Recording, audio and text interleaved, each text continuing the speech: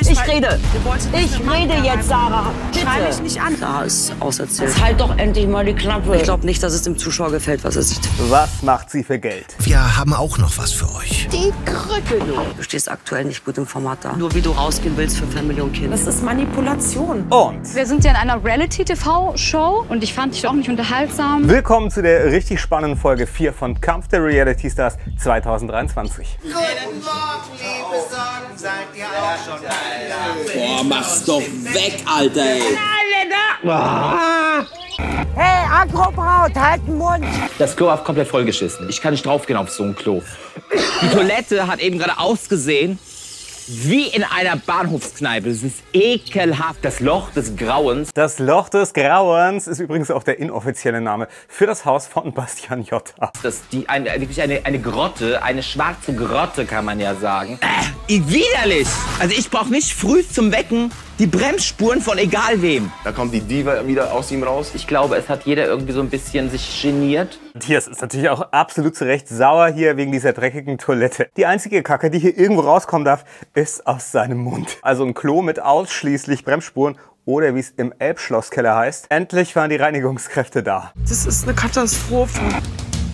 Das ist der Sinn und Zweck der Sendung. Blöden Promis sollen leiden. Was ist denn jetzt schon wieder? Nee, wegen meinen Haaren. Sie fallen beim Bürsten alle komplett aus. Ich muss ganz ehrlich sagen, ich habe es ja überhaupt nicht erst verstanden. Ich war nur wegen meinen Haaren. Äh, ja, Ich, ich habe hier eine Glatze nach sieben Tagen.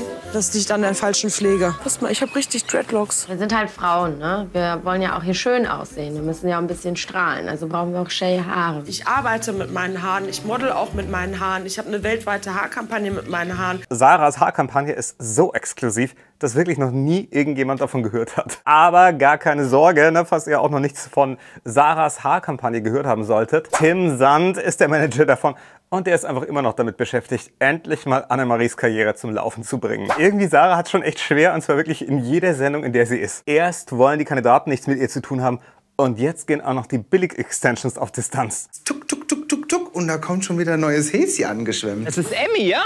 Ja, ist Amy Rush. Oh nee, nicht Film, ich habe noch Stoppeln. Ah, ich habe noch sogar. Oh nee, das sieht aus, hätte ich auch Scheiße unter den Aktien. Das, war, das ist nur Selbstbräuner. Ich bin Emmy Rust. Man kennt mich aus fast allen möglichen Formaten. Problem ist, man muss ja hier so ein bisschen Teamplayer sein. Ich bin gar nicht Teamplayer. Ich hasse Menschen. Krawallschachtel Emmy hasst also Menschen, also natürlich bis auf diejenigen, die ihr jeden Monat 22 Dollar für ihren OnlyFans-Account überweisen. Unsere Emmy hat überhaupt gar keinen Bock auf Menschen. Gut, ne? Das hat sie erstmal mit allen gemeinsam, die samstags länger als eine halbe Stunde bei Ikea waren. Hier sind mein Gott, ich kotze. Männer wollen mich immer nur bumsen und Frauen sind neidisch auf mich. Emmy ist eine Granatenfrau, ein absoluter Hingucker und sie zeigt es auch. Sie weiß auch mit ihren Reizen zu spielen. Wenn ich jetzt ganz ehrlich bin, in drei Worten, wie ich bin, bin egoistisch, ich bin scheiße und ich bin faul. Und genau das Gleiche hat auch Boris Becker geantwortet, als die Staatsanwaltschaft ihn gefragt hat, warum er sich nicht selber um seine Steuern gekümmert hat. Ich finde, eines muss man Emmy auf jeden Fall lassen. Sie neigt nicht zur äh, Schönfärberei. Schönfärberei, oder wie ich es nenne, meiner Mama erklären, was ich hier so mache. Ich frage, wie alt du bist. Was denkst du? Ähm, ich schätze mal so mein Alter. So zwei- Was? 32.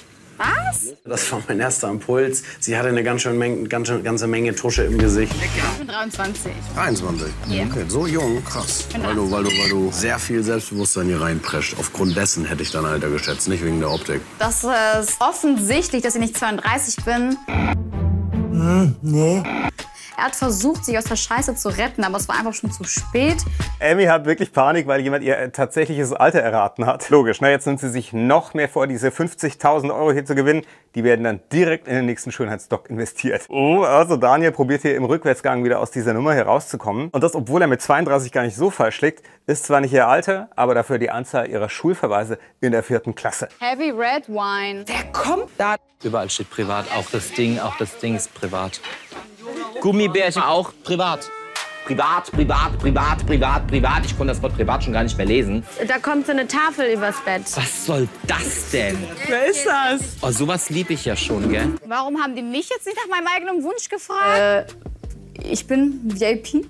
Wer ist jetzt hier noch höher als ich? Warum bauen die da ein komplettes Laufband auf? Usain Bolt. Okay, zwar deuten Alkohol und Gummibärchen darauf hin, aber spätestens seit dem Laufband können wir ausschließen, dass es sich hierbei um äh, Silber von den Hot Banditos handelt. Guck mal, der Piefke. Guck doch mal, der Piefke. Der hat schon genau. Wie so eine Spinne, die darauf wartet, dass eine Fliege ins Netz geht und sie die endlich verspeisen kann. Guck, und das ist das, was ich meine. Was ein Quertreiber. Er weiß ja, dass er eigentlich alle gegen sich hat in der Sala. Da muss er natürlich bei Neuankömmlingen gleich um Gunst betteln. Hä, der winkt ja nicht mal. Der hat keinen Bock, glaube ich. Ist ja wohl jemand richtig arrogant ist. Ich heiße Percival. Man kennt mich von The Voice, von All Together Now, was ein scheiß Show war. Und sowas werde ich nie wieder machen. Und wenn irgendjemand auf meine Füße tritt, then they see the other side. Daniel macht es halt einfach richtig schlau. Nachdem er Emmys richtiges Alter erraten hat, weiß er ganz genau, dass er sich direkt beim nächsten einschleimen muss. So, und wie Percival findet die Sendung All Together Now wirklich nicht gut. Wahrscheinlich würden ihm da auch ein paar zustimmen, wenn auch nur irgendjemand diese Sendung geguckt hätte. Äh, Mal gucken, ne? aber durch diesen Diven-Status, den er hier schon bei der Anreise hat, wird er tatsächlich nach diesem Nominierungsschutz einen schwierigeren Stand haben als unser Manny Ludolf beim perfekten Promi-Dinner. Ich kenne gar kein Gesicht da draußen. Hi. Die haben irgendwelche Shows gemacht, die ich leider nicht gesehen habe. Du warst bei DSDS? Nein, ich war da, wo die echte Sänger waren. Ich bin auch ein echter Sänger und war bei DSDS. Ja, dann musst du aussteigen und irgendwo anderes hingehen. Also äh, bei mir ist das ja Fehlanzeige. Ne? Pff, Mir kann keiner die Show stehlen. Magst du einen Eiskaffee? Keine Ahnung, warum sich jetzt alle so viel interessieren. Bin eigentlich viel netter. Ganz großen Respekt. Percival kommt hier in eine Sendung und der schafft es halt einfach mal so ja, innerhalb von 10 Sekunden, sich unbeliebter zu machen als alkoholfreies Bier an einem Drehset von Til Schweiger-Filmen. Oha, der große Streit, ob DSDS oder The Voice hier die richtigeren Sänger hervorgebracht hat. Leute, aber das ist wirklich wie die Diskussion, ob man lieber zum Zahnarzt von Matthias Manschapane gehen möchte oder doch zum Knick-Knack-Kochkurs von Uschi. Das Ergebnis ist so oder so verstörend. Wasser, welch kostbare Gut. Darauf möchte hier keiner verzichten. Ja, wir konnten ja jetzt schon nicht duschen, keine Zähne putzen. Jetzt soll es wieder losgehen. Ich trockne hier noch ein wie so eine, wie so eine Traube zur Rosine, wenn es so weitergeht. Was heißt das? Ich habe jetzt gar Wir nichts kriegen kein verstanden. Wasser mehr. Was? Zähne putzen? Auch nicht. Was? Ja. Scheiße, Alter. Können mich alle am Arsch lecken. Seid ihr bereit? Immer bereit. Sind sehr bereit. Böse Zungen behaupten, dass man sich für diesen einen Augenblick, sich die Zähne nicht putzen zu können, jedes Wochenende vorbereitet. So und ganz wichtig, Emmy ist jetzt hier natürlich nicht so entrüstet, weil sie sich nicht die Zähne putzen kann. Ihre Sendezeitstrategie basiert nur darauf, mit jemandem zu zweit zu duschen. Ihr wisst, ich liebe diese Sendung sehr, aber das heutige Spiel, das können wir echt skippen. Es war einfach nur die Reise nach Jerusalem und deswegen so hm, mittel. Wir fokussieren uns lieber auf unsere Kernkompetenz, Drama. Ich würde sagen Dream Team. Und ich hatte es mir sogar vorher sogar gewünscht. Oh, du wünschst es dir also. No. Daniel, ich habe einen Tumor im Knie. Ich, ich kann es einfach nicht, geht nicht. Es ist zu riskant. Daniel und Sarah sind keine starken Konkurrenten in keinster Weise. Das mit dem Knie von Sarah ist natürlich richtig scheiße und wir drücken die Daumen, dass das alles wieder gut wird. Umso erstaunlicher, dass es Sarah wirklich exzellent gelingt, anderen in Diskussionen wirklich ständig zwischen die Beine zu gerätschen. Warte, warte, aua. Hey, geht doch, hört auf! Ich bin aufgefallen jetzt. Ich kann da nichts für. Wir lagen doch hier schon, ihr seid... Ich bin mit runtergefallen. Ihr könnt doch nicht einfach nachkommen. geht doch gar nicht. Ja, dass Sarah und Daniel gleich ausscheiden, war klar. Also, das entscheidet sich zwischen Julia und Tim und Eva und Paul. Ich kann das Scheißgelaber nicht mehr hören. Es geht gar nicht, wirklich. Also ich habe auch mittlerweile echt die, die Schnauze so voll von ihm, muss ich auch ehrlich jetzt sagen. Was, was er wieder gesagt hat. Was soll das denn? Mhm, Also Menschen, die einfach irgendwie übereinander fallen und bewegungslos auf dem Boden liegen. Das müsste für Daniel durch seine Arbeit im Elbschlosskeller ja ein absoluter Heimvorteil sein. Also hier jemanden mit Kommentaren wirklich zu Weißglut zu bringen. Die ARD ist bei diesen Bildern ganz hellhörig geworden und hat dem Daniel angeboten, den ESC zu kommentieren. So, so viel dazu, weil du immer so eine große Klappe hast, ehrlich. Es entscheidet zwischen, zwischen äh, Tim und äh, Paul. und dann hast- st- scheiden die aus. Dann hast du nicht komplett zugehört. Ach, auf einmal dann. Nee, nicht auf einmal. Du hast wohl nur die Hälfte gehört und meckerst schon wieder zu früh. Nein, Ich habe sämtliche Formate gemacht und bin auf Platz 1, 2 oder 3 gelandet. Äh, Und dann will mir jemand, der von früh bis abends Bier ausschenkt, erzählen, wie es äh, hier funktionieren tut. Sorry. ich kann nicht mehr. Mein Knie, ey. Ich kann nicht verlieren, also ich. Nee, ich auch nicht. Ich bin ja auch überhaupt kein Verlierertyp. Ich glaube, du hast mich aber auch sehr schön mitgezogen. Ja, ich hab dich geführt, meinst du? Ja. Ja, Matthias hat vollkommen recht. Er war in den Sendungen wirklich immer auf den vorderen Plätzen. Vor allem natürlich bei den Umfragen, wessen Image am meisten gelitten hat. Ey, und so viel Verachtung, wie Matthias für jemanden mit ehrlicher Arbeit hat, hat sonst nur Jorge González für Schuhe mit Absätzen unter 15 Zentimetern. Glückwunsch, Eva und Paul. Der Rest hat ein kleines Duschkontingent. Also ich weiß erstens gar nicht, was ähm, Kontingent bedeutet. Dementsprechend kann ich mir auch gar nicht vorstellen, was das jetzt für eine Strafe sein soll. Kontingent ist sehr viel Kontinent, also... Damit kann ich mir nicht mal meine putzen nach dem Kacken, Mann. Ey, das ist doch gar nichts, Mann. Ey, das verdünstet auch doch hier drin, oder nicht? Oh Gott! Immer wenn ihr das Badezimmer betretet, muss der Stöpsel am Kanister gezogen werden. Sobald dieser Behälter leer ist, ist das Badezimmer für euch gesperrt. Oh, Alter, und ich habe echt geschwitzt. Also, es gibt jetzt kein Wasser mehr für die meisten Kandidaten. Außer natürlich für Presswell. Der macht einfach die Claudia Oberdusche und wäscht sich mit seinem Rotwein. Ey, und vielleicht sollten sie sich einfach nicht so anstellen. Mit der Wassermenge ist die Kelly Family auf Tour locker eine Woche ausgekommen. So wie wir aussehen, kommen wir nicht in die Gala. Wir stinken hier alle in der Sala. Außer die Eva und der Paul. Legt sich einer an, dann gibt's eins aufs Maul. Das ist für mich Spartenmusik und dann hätte da auch eine, ähm, eine Oper von Puccini reinnehmen können. Du bist so bescheuert, stimmt Ja. das? Sarah zeigt hier einfach wieder ihre absolut fiese Seite. Weil es ihr schlecht geht. Na, mit den Haaren versucht sie jetzt auch die anderen runterzuziehen mit diesem Gerappe da. Ich könnte ja nie im Leben zwischen zwei Leuten schlafen. Was eine Katastrophe. Oh Denk einfach, es ist ein Dreier. Also ich würde echt Daniel fragen, ob er mir tauschen würde. Ich ähm, mag dein Bett aber mehr. Kannst du haben. ja? Ja. Ich habe es am Anfang gar nicht gecheckt. Und jetzt habe ich natürlich verstanden, ah, das machen die eigentlich alles, damit ich die nicht nominiere und rausschmeiße. Das war meine Erziehung. Sie hat mich gefragt, ob ich die haben kann und äh, sie ist eine Dame und ja, dann kann sie die haben. Danke. Was für eine Granate, schwer da nicht hinzugucken. Jakob von Prominent getrennt. Immer, an jedem Ort, zu jeder Zeit. Ja, man könnte denken, Daniel steht auf Emmy, aber äh, das war tatsächlich eher als Warnung gedacht. Bei dem ganzen Plastik und Silikon, was Emmy im Körper verbaut hat, da ist unser lieber Daniel einfach nur besorgt, dass sie unter der Sonne halt irgendwann mal explodiert wie eine Granate. Um die Kredibilität unserer Reality-Stars zu ermitteln, hat die Starblitz-Redaktion eine landesweite Umfrage gestartet. Wer hat seinen Promi-Status unverdient erhaschen können? Bei dir sagen die Leute wahrscheinlich, unverdient die Tochter von. Die kann ja gar nichts, aber sie ist im Das ist ja nur der Fernsehen. Name. Seit 30 Jahren, genau. Durch Annemarie. Ja. Ja, ist schon ein kleiner Schlag auf den Kopf. Sarah würde ich neben mich packen auch. Ja, pack mich hin. Obwohl die Wahrheit anders ist. Ich habe schon auf den Oscars, war ich schon auf dem roten Teppich.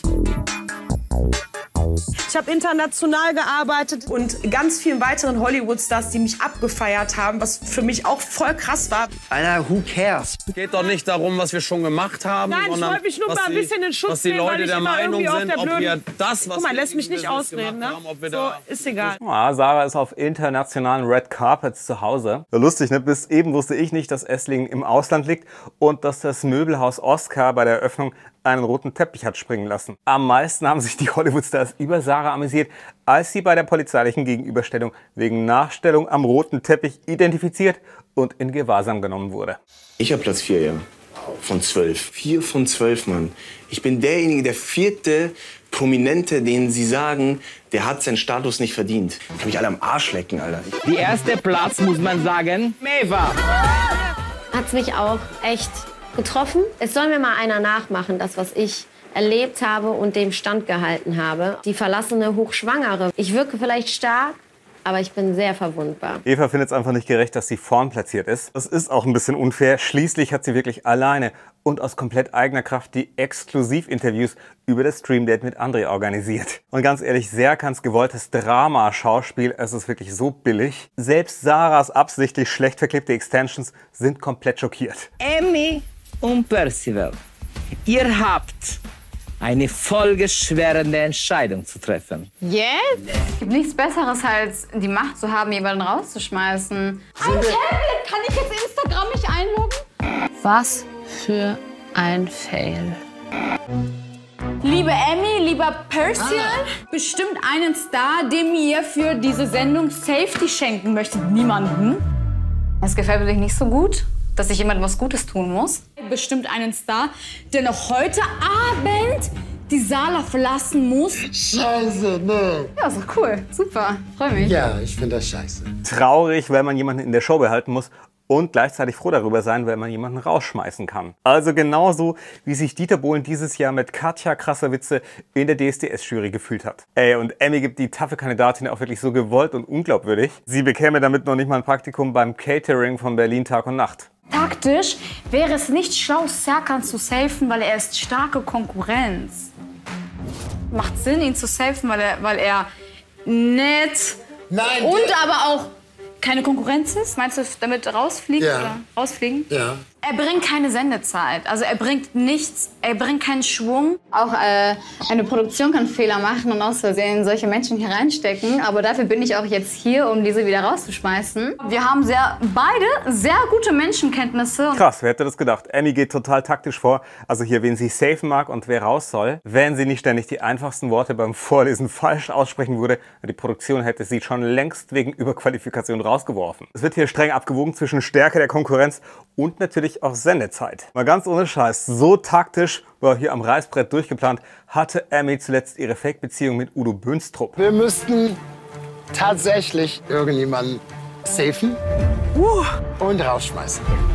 Alter Verwalter. Wie krass. So, safe ist Daniel.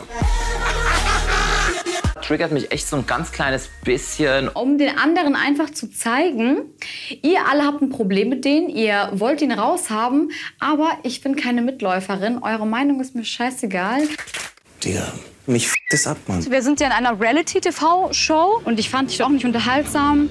Wir haben uns, mich für Großen Respekt, Daniel ist auf jeden Fall eine richtig gute Wahl. So bleibt einerseits der Sympathieträger, andererseits aber auch der Konfro-Schwerpunkt hier der Sendung. Also einfach eine taktisch gute Wahl oder wie man in Berlin sagt, eine was? Tim entschieden. Ich habe überhaupt nicht damit gerechnet. Ich glaube, Reality ist vielleicht einfach nicht so dein Ding. Trotzdem ein Applaus für dich, ja. Erledigen sich manche Dinge einfach von selbst. Die im Betten getauscht, äh, das, das war nicht das einzige Kriterium, sorry. Das regt mich so auf, Alter. Weil die gleiche Leier, was er jetzt abgezogen hat, hat er bei euch auch abgezogen. Er erzählt immer die gleiche Schallplatte, läuft da in einer Tour. Der weiß ganz genau, was er tut einfach. Tim Tonics Urlaub ist also schon vorbei und er muss leider wieder zurück zur Arbeit. Vor dem Telefon warten und darauf zu hoffen, dass irgendein Baumarkt verzweifelt genug ist, um Annemarie zu buchen. Na ja, lieber Tim, mach dir bitte nichts aus deinem frühen Ausscheiden. Welches Tier verlässt nochmal als erstes das sinkende Schiff? Eine Ratte. Ich muss doch meine Arbeit machen als Amor hier. Verstehst du? Es gibt manche Sachen, die gibt es und die gibt es nicht. Es ist einfach so. Manchmal muss man im Leben einfach mal auch Abstriche machen. Ja, das macht mir halt natürlich Angst. Ich mag den Paul, ja. Und ich stehe auch auf Paul. Oh Gott, niemand soll mich ansprechen oder es auch nur wagen, mich zu stören, auch nur Lärm zu machen. Ich hab scheiße geschlafen. Es war unbeschreiblich. Ich hasse es, jetzt schon hier zu schlafen. Ich hasse euch alle. Geht mir nicht aus dem Sack, Alter. Ich darf hier noch nicht immer Hände waschen. Oh Gott, ey, was ein scheiß Leben. Schrecklich, abartig, ekelhaft. Jo, also Mannis Mütze müsste dringend mal gewaschen werden, stimmt schon, aber so drastisch würde es wohl keiner sagen. Jo, Emmy hat morgens einfach so gute Laune, wie Gloria von Prominent getrennt, wenn sie erfährt, dass ihr Nico vor die Tür gegangen ist, ohne sie zu fragen. Das wollte ich noch mal aufklären mit Hollywood. Also ich war damals bei den Oscars tatsächlich, Ja. bin über den roten Teppich gelaufen. Ich habe äh, zweimal in einem internationalen Film mitgemacht. Dieser Sharknado 4 und 5. Es war ein weltweites Casting. Also es war jetzt nicht so, ja, hier, du bist genommen oder so. Wegen meiner Persönlichkeit habe ich es nach Hollywood geschafft. Warst du einfach so Komparsin? Ja, genau. Also ich habe einen Gastauftritt gehabt. Ach so. Ja, on point. Schade, dass ich nur reduziert auf das eine werde. Ich bin doch mehr als Dschungelcamp. Ach so, ne, was Sarah hier leider nicht erzählt. Zwei Sekunden nachdem sie den roten Teppich äh, betreten hat, wurde sie von Securities getasert und natürlich direkt wieder hinter die Absperrung gebracht. Ey Leute, Sharknado 4 und 5, die Oscars. Und trotzdem bleibt Sarahs größte TV-Rolle der Streit mit einem Mitglied von Team 5. Absolut nein. Wir sind uns voll ähnlich, Mann. Ich war beim Tatort eine Leiche. Ich finde es schade, dass ihr jetzt darüber lacht. Ich definiere mich doch nicht darüber, dass sie eine Komparsenrolle in einem Hollywood-Film hatte. Ich bin ganz ehrlich, mich nervt es nur noch. Wenn man immer wieder daran erinnert wird, wie viele Leute einfach wirklich neidisch sind. Krass, und jetzt sitzt du hier mi- mit mir an einem Tisch. Wenn ich das Wort Hollywood noch einmal höre, dann raste ich, glaube ich, wirklich komplett aus. Das auf der Liste zu haben von äh, Lebenslauf, finde ich eigentlich schon krass. Finde ich auch geil. Ich glaube, das ist der Traum von uns allen. Von Germany's Next Topmodel nach Hollywood, von dort dann zu den Oscars und jetzt zu Kampf der Reality Stars, nur um sich hier Woche für Woche drei Sätze anzuhören, für die Kathi Hummels monatelang geprobt hat. Davon träumt wirklich jeder. Ja, und logisch, dass Eva auch so ein bisschen neidisch ist. Mit dieser komischen Paul-Beziehungsgeschichte, da qualifiziert sie sich höchstens für die Rolle der verlassenen Zahnarztgattin im ARD-Vorabendprogramm. Dann müssen zwei weitere Stars den holzigen Palast der guten Unterhaltung verlassen. Schon krass, ne? Hast du Bock, Paul? Ich bin Machen wir. Okay, Team 2. Oder Paul, wollen wir beide mal zusammenspielen? Ich hab mir echt gedacht, so jetzt reicht's. Also ich finde, das passt gut, weil ich wirklich auch gestern im Spiel verloren habe. Aber dann ist ja wieder ein bisschen unfair. Ja, das ist schon. Komm, dann lass uns das einfach machen. Okay? Ich mach mit Paul. Setzen, Sex. Ja, bitte. Warum wolltest du eigentlich mit Paul spielen? Weil ich das mal spannend finde. Das ist halt äh, nicht Fairplay, das ist wieder egoistisch, das ist nur an mich selber denken. Naja, also was soll Sarah denn bitte machen? Sie hätte natürlich für das Spiel am liebsten ihren guten Freund Tom Cruise angerufen, aber die einstweilige Verfügung ist leider noch zu frisch. Ja, ich habe jetzt Sarah gefragt, warum sie mit dem Paul spielen wollte, weil halt dann zwei starke Ja, ihr Köpfe denkt spielen. auch an euch, ich rede. ihr Ich rede jetzt, Sarah. Bitte. Schrei mich nicht an, nein. Du machst mir ständig irgendwelche Vorwürfe. Du lässt mich nicht ausreden die ganze Zeit. Julia, sag mir doch mal, wie deine richtige Zusammenstellung gewesen wäre. wie Nein, du das möchte ich, möchte Doch, ich das nicht. würde ich jetzt gerne nur mal sehen. Sarah, ich weiß, dass du es gerne hättest, möchte ich aber nicht. Das sag mal, geht's noch? Ich fühle mich wie im Kindergarten, ey. Sarah, jetzt halt doch endlich mal die Klappe. Sie hier sieht mich als Konkurrenz und will mir jetzt einfach nur ins Bein schießen. Sie würde sich mehr sichern, wenn sie mal zeigen würde, dass sie Teamgeist hat und nicht nur an sich denkt. Deuten wir einfach mal Julias Blick. Es sieht so aus, als wisse Julia Siegel nicht, was sie im Moment mehr verabscheut. Sarah Knoppig oder doch Nikotinkaugummis. Ey, und ehrlich gesagt, es ist überhaupt gar kein Wunder, dass RTL 2 für die Bewohner hier das Badezimmer gesperrt hat. Wir haben hier Sarahs Extensions-Ausfall. Und natürlich die Haare, die die anderen durch das ständige Haare raufen, wegen Sarahs Verhalten verlieren. Da wäre der Abfluss ja wirklich alle 30 Minuten verstopft. Wir können heute tatsächlich auch das Safety-Spiel wirklich im Schnelldurchlauf durchgehen, weil... Langweilig! Ich habe kein gefährliches Halbwissen. Nee, ich habe gar kein Wissen, das ist das Problem. Die Schrumpfschläge, die waren echt gut. Boah, ihr Assis, Alter. Ah, ein Drecksding. Verschissenes. Ich weiß, was ein Motherfucker ist, aber kein Mu- Muckefuck. Okular, Okular, Okular. Okular ist vielleicht einfach der große Bruder von der Ukulele und dann ist es ja wieder ein Objekt. Musikinstrument ist ja auch ein Objekt. Wir haben beide Köpfchen. Aber der Kopf sieht nur gut aus. Die Paare mussten einfach Worte richtig zuordnen, nachdem sie hier den heißen Draht überstanden haben. Unsere Kandidaten haben beim Spiel natürlich wieder alles gegeben, aber leider ist halt alles von nichts immer noch nichts. Sarah und Paul. Herzlichen Glückwunsch, ihr habt dieses Spiel für euch entschieden. Nur einer von euch kann das Safety erhalten. Ja, aber jetzt aus Mitleid oder? Nein. Erstens den Druck, das aus Mitleid machen zu müssen und aus Gentleman. Und ich finde das nicht fair. Wenn Sarah safe ist, ist einer von deinen Leuten raus. Kann ich mal ganz kurz mit Paul alleine sprechen? Wenn ich nicht safe bin, bin ich heute weg. Ich merke halt den Druck von der Gruppe auch, ja. Mhm. Aber vielleicht kann ich da noch mal eine Chance bekommen, weißt du? Fies bist du! Ja. Finde ich mega, dass Emmy das hier genauso raushaut und thematisiert. Und jetzt wissen wir auch endlich, wie Sarah die Rolle bei Sharknado bekommen hat. Einfach beim Casting so lange weinen, bis einer der Produzenten Mitleid hatte und sie als Statistin Nummer 134 eingestellt hat. Also das ist schon krass, ne, welchen Druck die äh, Gruppe hier auf die beiden ausübt. Ich glaube fast das letzte Mal, dass sich Menschen so einig waren, das war beim ESC 2019. I'm sorry. Zero points. Ich wünschte, ich würde die Chance noch bekommen. Das heißt ja auch Kampf der Reality Stars. Man möchte doch hier bleiben. Also we- wenn ich jetzt nicht safe bin, ja, dann muss ich zwei Leute nominieren, ja. Und Du musst auch trotzdem, auch wenn du safe bist, zwei Leute nominieren. ja, ich kann dich aber nicht nominieren, wenn du gesaved bist. Okay. Deshalb würde jemand rausfliegen, den ich natürlich lieber hier drin habe, safen würde als dich. Darf ich einen Satz sagen? Wenn du gut aus dem Format rausgehen willst, überlässt du Paul die Karte. Willst du schlecht aus dem Format rausgehen, nimmst du die Safety. Du stehst aktuell nicht gut im Format da. Eieiei, aber es gibt ja auch ein kleines Trostpflaster für Sarah. Niemand hat hier jemals mitgemacht und stand irgendwann bei den Zuschauern gut da. Die Julia, das war wirklich auch unfassbar. Aber ja, ich wünschte tatsächlich, dass auch bei mir in meinem Leben mal jemand plötzlich von der Seite reinkommt mit einem guten Ratschlag. Dann hätte ich mir garantiert niemals Macarena in der Karaoke-Bar als Song gewünscht. Nur wie du rausgehen willst für Family und Kind. Ich finde das falsch. Und auch in so einem Moment völlig unpassend. Diese Manipulation, die weiß, dass ich äh, emotional bin, wenn ich an mein Kind denke und so. Und dann haut die mir noch einen raus. Gebe dir den Safety. Dankeschön.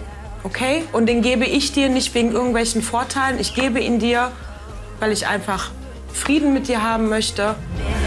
Es ist mir viel lieber, dass Paul die Safety-Karte bekommen hat, als wenn er sie Sarah gegeben hätte. Du musst ja auch ein bisschen an dich denken. Hättest du ihr jetzt diese Safety-Karte geschenkt, dann hättest du ja voll dein, dein Gesicht verloren, weil die hätten gesagt, du kannst deine Meinung gar nicht vertreten. Äh, mit Gesichtern verlieren kennt sich Emmy ja wirklich sehr, sehr gut aus. Seit sie im Fernsehen ist, hatte sie ja schon mindestens drei verschiedene. Ja, natürlich macht Sarah das wirklich nur aus Friedensgründen für unseren Paul. Man spürt auf jeden Fall die Präsenz von Emmy. Ja, viel zu lange. Wenn du feucht bist. Ja, dann mach ich mich mal kurz feucht. Daniel aus. I love it.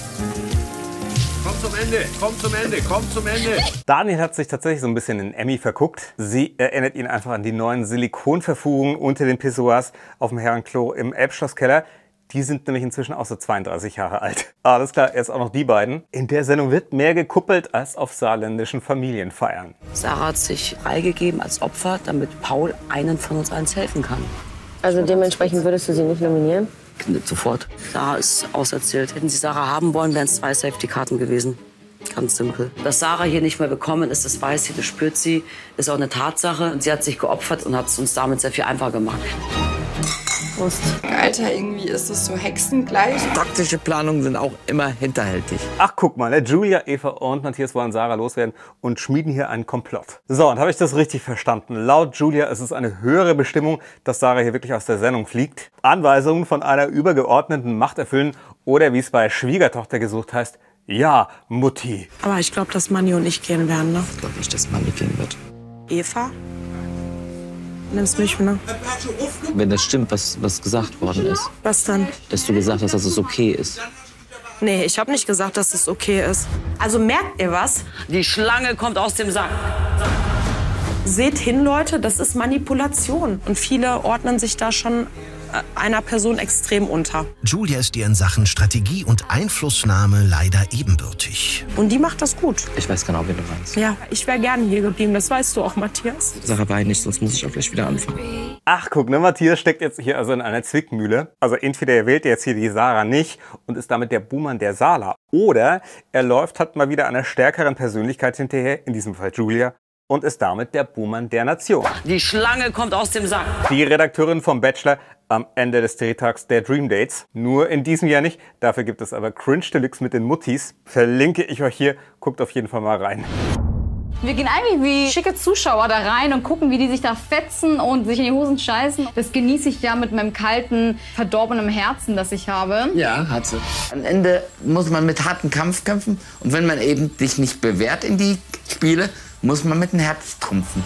In unserem Redaktionsbüro habt ihr bereits auch hervorragende Arbeit geleistet und ihr habt Tim aus der Saale rausgeworfen.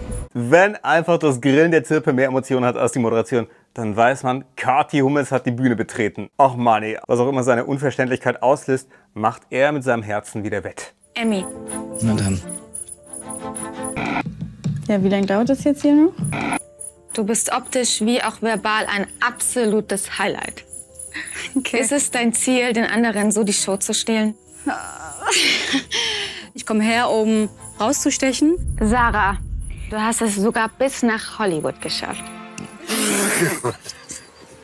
Ich weiß nicht, ich bin geboren, um zu verlieren. Warum nicht geboren, um zu gewinnen? Jeder hat sein Schicksal, ne? Du hast dich heute dazu entschieden, Paul zu safen. Ich bin ein bisschen traurig darüber, weil durch diese Position bin ich der angebissene Löwe, der auf dem Boden liegt. Sarah, komm bitte zu mir nach vorne. Jeder hat zwei Stimmen, es müssen auch zwei gehen. Fun Fact, wenn man Kati Hummels Sprechpausen aus nur einer Folge aneinanderreiht, hört man fünf Minuten nichts. Fünf Minuten ohne echten Inhalt oder wie es auch heißt, Sendezeit von Serkan. Geboren, um zu verlieren. Mein Sportlehrer während meines Aufschlags beim Badminton. Ich stehe jetzt hier stark vor euch und zeige euch jetzt mal die starke Sarah, die in Hollywood war. Meine erste Entscheidung bist du, lieber Mann. Julia, ich bin von dir am, am krassesten enttäuscht. Du suchst quasi immer irg irgendwelche Fehler in mir. Nicht, weil ich einen Fehler habe, sondern weil du mich als Konkurrenz siehst. Sarah, meine zweite Münze. Eva. Sarah. Bernie. Lieber Manni, meine zweite Münze, Matthias. Große Erleichterung bei allen, nachdem sich Sarah hier nach der Nominierung wieder gesetzt hat. Also nicht, weil sie Julia und Money nominiert hat, sondern weil einfach alle Angst hatten, dass sie wieder rappt. Und ja, natürlich, ne, so kennen wir unseren Matthias. Eben noch mit Sarah gefühlvoll mitheulen und jetzt schön das Messer in den Rücken rammen. Noch absichtlicher gelogen wird nur bei dem Satz, dauert noch fünf Minuten. Immer. Daniel. Sarah, ich habe von Anfang an irgendwie nicht das Gefühl gehabt, dass das, was du versuchst zu sein, darzustellen, echt ist. Und ich konnte nichts fühlen. Serkan? Julia. Serkan, Ecken und Kanten habe ich noch nicht erlebt. Also ich habe noch nicht gesehen, was eine eigene Meinung irgendwie wirklich hast. Sarah, du möchtest, dass deine Tochter auf dich stolz ist. Das ist sie auch. Ja, ja, aber Übrigens, Daniels Weste hier, äh, die besteht aus Stoffresten, die die Besucher im Elbschloss-Kellerklo vergessen haben. Alles klar, Julia nominiert Serkan, weil er angeblich keine eigene Meinung hat. Dann wissen wir jetzt nach der Folge, wer als nächstes bei ihr auf der Abschussliste steht. Matthias. Dass du mir vorgeworfen hast, save den Paul, weil deine Familie ist und das ist alles schlecht für deine Familie. Das hast du heute gemacht. Schau, und da das wieder da war ich zugehört. so erschrocken. Du hörst dich halt auch gerne reden, Julia. ich befürchte, dass du vielleicht nicht so gut hier wegkommst. Ich glaube nicht, dass es dem Zuschauer gefällt, was er sieht. Eine solche Bemerkung steht dir nicht zu. Wenn das deine Meinung ist. Na gut, also würden die Sender immer nach dem gehen, was die Zuschauer mögen, hätten die Promis hier doch alle richtige Jobs. Und ja, für Julia ist die Nominierung von Sarah ja eine Art Schutz vor schlechtem Ruf. Also hat im Endeffekt Hilfe zur Selbsthilfe oder wie die Kostümbildner bei Let's Dance sagen, gebt Massimo bloß ein Hemd, dass er sich nach dem Tanzen nicht vom Leib reißen kann. Serkan. Manni, Julia, ich zeig dir jetzt Ecken und Kanten. Und ähm, es gibt zwei, drei Sachen, die mich ein bisschen nerven. Wenn es darum geht, dass man die Julia zeigt, dann zeigst du gerne ja, die, die Show Julia. Dieses Unterbrechen und jemand immer sagen, was er zu tun hat, bevormunden und alles, das geht jedem auf den Sack hier. Ja. Sarah, sei du selber, Bernd. Sarah, lieber Manni. Fairerweise muss man auch sagen, dass sie da von Serkan wirklich ein bisschen viel erwartet hat. Serkan zeigt seine rebellische Seite erst ab einer Gage von 4 Euro. Wie die Nominierung hier ausgeht, das war ehrlich gesagt ähnlich erwartbar wie überdurchschnittliche Gewinnsummen beim Promi-Special von Wer wird Millionär. An die Ausgeschiedenen. Wow. Das war schon teilweise grenzwertig, was der eine oder andere gesagt hat. Manni, Alter, ich sauf mir jetzt erstmal eine. Ja. Ich bin verletzt. Ich hab gesagt, ich wünsche mir einfach nur einen würdevollen Abgang. Ich frage mich, warum wir jetzt noch ins Redaktionsbüro sollen. Was soll das alles?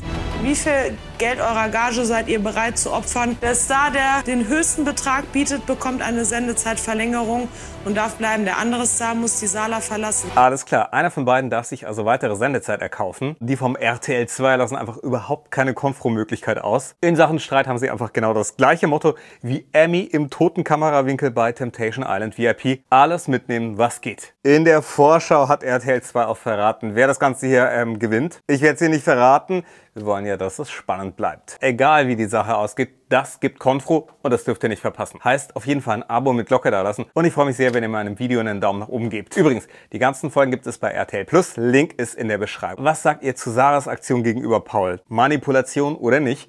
Freue mich sehr auf eure Kommentare. Falls ihr das nicht gesehen habt, wie Tim Sand auf Eva trifft, ihr müsst euch das angucken. Und hier das Bachelor-Finale mit Drama beim Wiedersehen. Lieben wir. Also, dann sehen wir uns gleich hier.